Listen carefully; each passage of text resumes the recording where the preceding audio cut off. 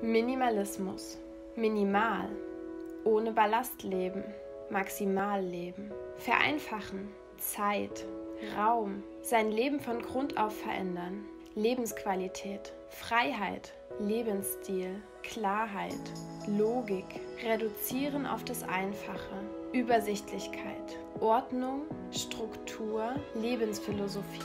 Geisteshaltung. Hallo ihr Lieben, herzlich willkommen zu unserem neuen Video.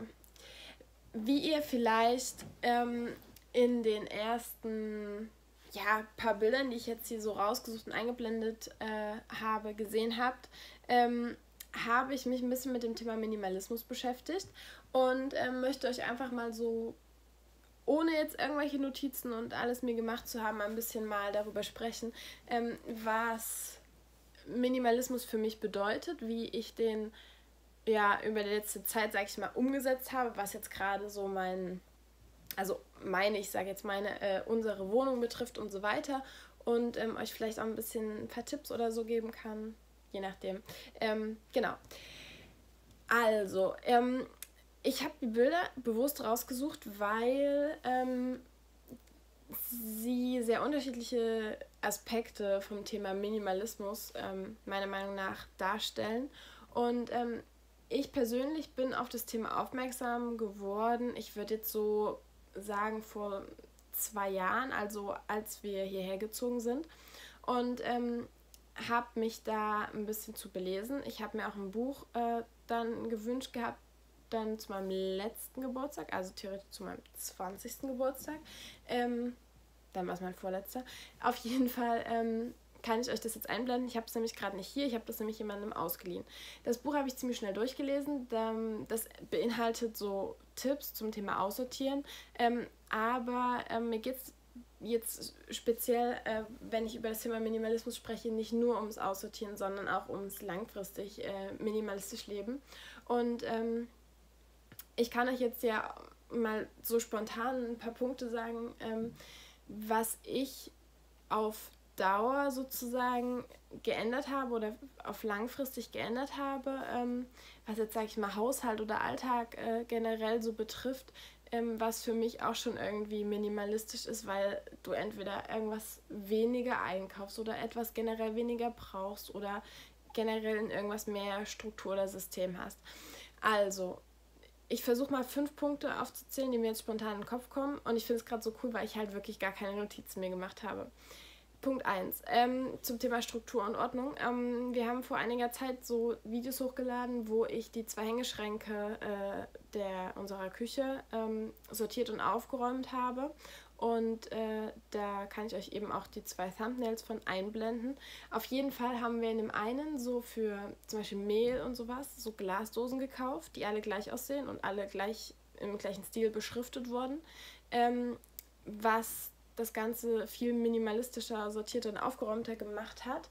Und für den anderen Schrank ähm, haben wir bei den Gewürzen auch so Glasgefäße gekauft, die wir dann auch im selben Stil auch wie die anderen Glasdosen beschriftet haben und das auf jeden Fall da zum einen einheitlich ist und zum anderen halt äh, sehr übersichtlich und klar strukturiert. Sowas ist, finde ich, für, äh, für mich persönlich, selbst wenn es halt, was weiß ich, halt zehn Gewürze oder so sind, ist es trotzdem irgendwie minimalistisch. Punkt 2. Wir haben generell äh, bei unserer Deko, bei unseren Räumen und alles irgendwie immer so versucht, ähm, uns an ein Farbschema pro Raum zu halten. Ähm, wenn man sowas macht, so mit so einer bestimmten Struktur halt, so einem bestimmten äh, Grundstil oder was auch immer, dann kannst du auch einiges an Deko rumstehen haben oder ähm, viele Möbel haben, sag ich mal, solange sie dieselbe Farbe oder so denselben Stil haben. Zum Beispiel hier im Schlafzimmer haben wir uns äh, gelb-weiß orientiert und schwarze Akzente gesetzt. Im Kinderzimmer haben wir uns an grün-weiß orientiert, äh, blaue Akzente gesetzt. Nächster Punkt, natürlich das Thema Aussortieren. Also wir haben ähm, jeden Raum unserer Wohnung, äh, bevor wir ihn renoviert haben, komplett durchsortiert. Teilweise auch nach der Renovierung nochmal. Ähm, und dabei wirklich äh, uns überlegt, ähm, ja, wann wir die Sachen zuletzt benutzt haben, ähm, wie oft wir sie benutzen, ob man sie sich vielleicht auch einfach ausleihen kann, wenn man sie mal braucht. Nächster Punkt, wir wohnen hier zu dritt, also sind drei Personen, aber es gibt halt Dinge, die man gemeinsam nutzen kann. Äh, ich erkläre ich gleich noch weiter, aber wo man vielleicht halt dadurch, dass man zusammengezogen ist, also wir haben, als wir zusammengezogen sind, halt unsere beiden Kinderzimmer sozusagen mitgenommen, also nicht komplett alle Möbel, aber viel halt. Und dementsprechend hatten wir viele Sachen doppelt oder mehrfach. Also zum Beispiel, wir hatten zwei Schreibtische. Und ähm, wir haben halt jetzt hier zum Beispiel beim Schlafzimmer uns dafür entschieden, einfach einen Schreibtisch zu haben, einen gemeinsamen, der halt einfach ein bisschen größer ist. Es ist jetzt einfach ein Esstisch, aber dafür, dass er ein Esstisch ist, ist er eigentlich recht klein im Vergleich zu unserem Esstisch, den wir drüben haben. Auf jeden Fall ähm, haben wir halt gesagt, ähm, wir sind zwar zwei Personen, aber wenn wir beide gleichzeitig am Schreibtisch sitzen müssen, könnten wir entweder eine am Esstisch und eine am Schreibtisch sitzen oder wir stellen hier zwei Stühle ran, weil das passt halt, äh, weil es ein Esstisch ist, wo auch zwei Personen dran sitzen können. Oder einer sitzt im Bett. Äh, dadurch, dass wir nur einen festen PC haben, der halt hier ist, äh, hat derjenige Vorrang, der den PC dann nutzt und der andere kann sich mit dem Laptop irgendwo hinsetzen. Also von daher brauchen wir einfach keine zwei Schreibtische. Okay, ganz anderes Thema. Ähm, zum Beispiel Putzmittel. Äh, da muss ich sagen, ich habe, ähm, als wir angefangen haben aufzu, aufzuräumen, also zu renovieren und auszusortieren, ähm, ganz viele Putzmittel verschenkt, ähm, die so für spezielle Sachen waren. Polsterreiniger, Teppichreiniger, unabhängig davon, ob wir es überhaupt brauchen, weil, also, wir haben jetzt hier keinen so festen Teppich in der Wohnung, der so fest in einem Raum verlegt ist, wo man vielleicht so einen Teppichreiniger braucht, aber wenn ihr wisst schon, was ich meine. Ähm, also was, ich habe äh, wirklich mir überlegt, mit was putze ich dies, mit was putze ich das und äh, kann man nicht auch ein Putzmittel für mehrere Sachen nehmen. Und im Endeffekt äh, besitzen wir jetzt ein Allzweckreiniger. Im Prinzip würde der wahrscheinlich auch reichen. Ähm, ja, einen äh, Badreiniger, der halt einfach für mich vom Geruch her so nach, nach Bad halt riecht und ich den deswegen nicht in der Küche nehmen möchte. Äh, ein Allzweckreiniger, wie gesagt. Dann was für die Toilette speziell, wo ich dann aber auch sage, eigentlich könnte ich die Toilette zumindest das Putzen auch mit dem Allzweckreiniger machen. Bloß diese Dinge, die man da so reinwirft, die sich dann so auflösen, das kannst du ja nur für die Toilette und brauchst ja auch nur dort. Also das war jetzt so fünf Punkte direkt aus dem Alltag, aus unserem Leben, wo ich jetzt mal sagen würde, äh, das sind so ein paar Beispiele, wie man, ja, oder wie wir halt minimalistisch irgendwie leben. Und ähm, ja, wie wir aussortiert haben, habe ich euch ja schon erklärt. Also, dass man bei vielen äh, Dingen einfach so guckt, ja, wann habe ich es zuletzt verwendet und ähm, wann werde ich es das nächste Mal verwenden. Und ähm, ihr könnt euch nicht vorstellen, was für Unmengen an Dingen wir aussortiert haben. Zum einen haben wir ganz viel verschenkt. Dann haben wir ganz viele Sachen verkauft, speziell Möbel. Die sind wir auch sehr gut losgeworden. Vor allem IKEA-Möbel sind sehr wertstabil, zumal wenn IKEA sich entscheidet, ja, ich nehme die und die Farbe, also den Farbton sozusagen, raus äh, aus dem Sortiment. Ähm, Leute aber schon Teile davon zu Hause haben und vielleicht jetzt aber noch ein speziell anderes Teil in demselben Farbton haben wollen, dann könnt ihr da eigentlich auch noch einen Aufpreis verlangen. Also Ikea-Möbel verkaufen sich super gut. Wir haben ganz wenig weggeschmissen. Klar, es gibt Dinge, die einfach irgendwie mittlerweile kaputt waren und wir sie deswegen auch aussortiert haben oder sowas. Aber ansonsten, äh, auch zum Beispiel Kleidung, haben wir viel, also wirklich viel, viel aussortiert. Gerade auch ich. Ähm, und ich habe da ganz viel zum Beispiel auch meinen Schwestern gegeben. Ist natürlich ideal, wenn man jüngere Geschwister hat, die zum einen einen ähnlichen Kleidungsstil vielleicht haben und zum anderen aber sich auch einfach freuen, weil es halt von einem ist und die halt kleiner sind als man selbst noch äh, und dementsprechend dann auch gut in die Sachen reinpassen. Ähm, dann ist es so, dass wir sehr minimalistisch beim Thema Deko sind. Also ähm, wir haben sehr wenig so irgendwas rumstehen. Ich gucke mich jetzt hier gerade um. Also Blumen finde ich sind zählen zwar auch zur Deko, gerade auch so, wenn man speziell Blumentöpfe hat oder sowas, aber wir haben vier oder fünf lebendige Blumen in der ganzen Wohnung und wir haben äh, ja mehr als fünf Räume und drei Blumen stehen auch schon hier. Also, ne, wisst ihr Bescheid. Ähm, aber ansonsten so, manche Leute stellen sich ja gern irgendwelche so Skulpturen oder was auch immer, irgendwas, irgendwelche Staubfänger äh, stellen sich Leute gerne auf oder es gibt auch so Leute, die so saisonal dekorieren. Also die, was weiß ich, zu Ostern komplett die Wohnung dekorieren. Weihnachten ist das Einzige, was ich vielleicht nachvollziehen kann. Aber ähm, Ostern, dann, was weiß ich, dann so ein bisschen Frühlingszeug nach Ostern halt.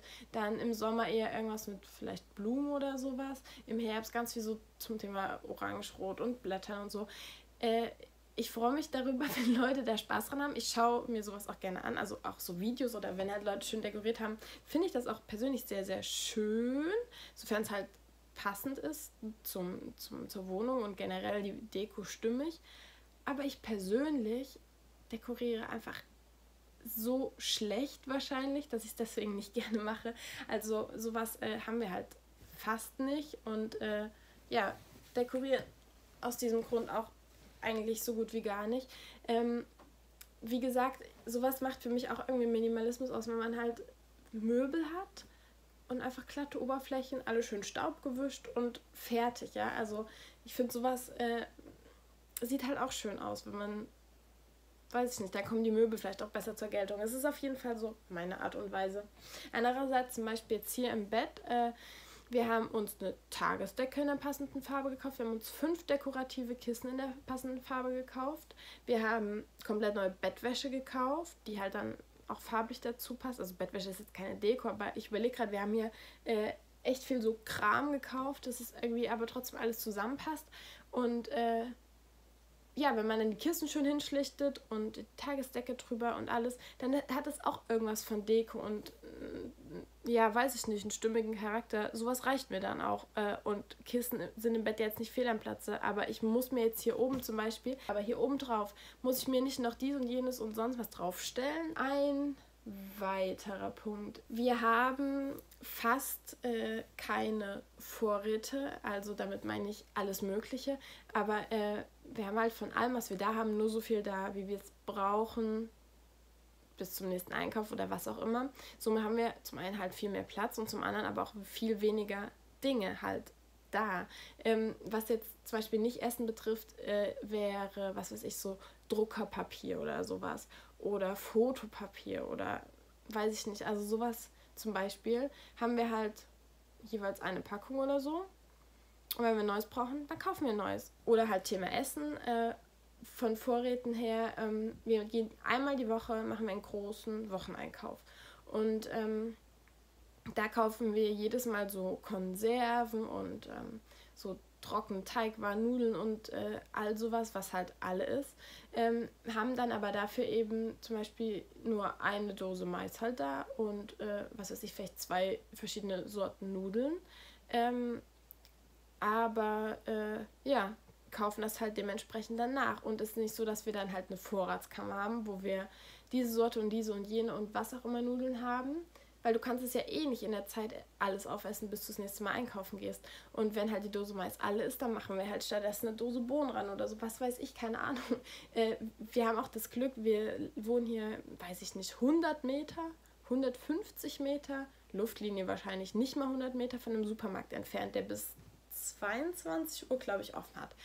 Also von daher könnten wir da auch jederzeit was holen. Aber seit wir hier wohnen, waren wir zum einen in diesem Laden vielleicht maximal zehnmal. Äh, zum anderen ähm, waren davon vielleicht fünfmal, dass wir abends irgendwann noch losgegangen sind, noch irgendwas geholt haben. Aber vielleicht auch einfach, weil wir es aus Dummheit oder so vergessen hatten beim Wocheneinkauf. Und nicht, weil unbedingt wir das jetzt genau in dem Moment brauchten und dann nicht darauf verzichten konnten und es vielleicht schon alle war. Was ich aber abschließend eigentlich sagen kann, und das ist im Prinzip auch nur so ein ja, grober äh, Überblick ähm, mal so ein bisschen einfach drauf losreden von mir zum Thema Minimalismus äh, war.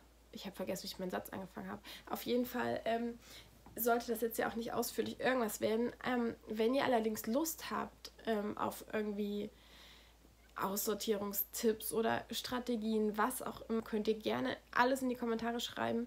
Ähm, wir freuen uns da über Feedback, dass wir äh, wissen, was euch vielleicht auch Spezielleres halt interessiert. Zum anderen ähm, so Thema Aufräumen, Organisations, was auch immer, Videos haben wir schon, die zwei, die ich am Anfang erwähnt habe, gedreht. Dann das Kühlschrankvideo kann ich auch nochmal verlinken und euch das Thumbnail einblenden. Da habe ich den Kühlschrank sauber gemacht und dann so systematisch nach Kategorien einsortiert. Das hat mir auch sehr, sehr viel Spaß gemacht und fand ich auch sehr, ja, irgendwie äh, sinnvoll, auch sowas mal zu machen. Ähm, auf jeden Fall, sowas in der Art wird es auf jeden Fall nochmal geben, kann ich mir gut vorstellen.